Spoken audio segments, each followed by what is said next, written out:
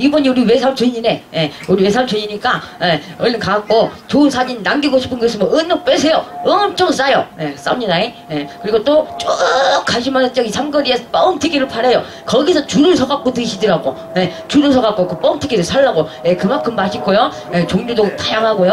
예, 또 그 옆에 가보면은 또 카페라떼 먹가 뭐 아메리카노 이런 거 커피 파시는 데- 분도 계시고 그쪽 또 가면은 예, 또뭐 뭐야 번데기 옥수수 또 뭐 뭐 치즈 호떡 뭐 별의별 거 다 팝니다. 예, 그러니까 여러분들 여기 오셔도 예, 근데 2번 즐거워야 돼요. 예, 2번 즐겁지만 여기는 뭐 누군가 기가 즐거운 곳입니다, 여러분들. 예, 그러니까 많이 예, 즐겁게 해드리도록 하겠습니다. 이제 홍보 끝. 가자.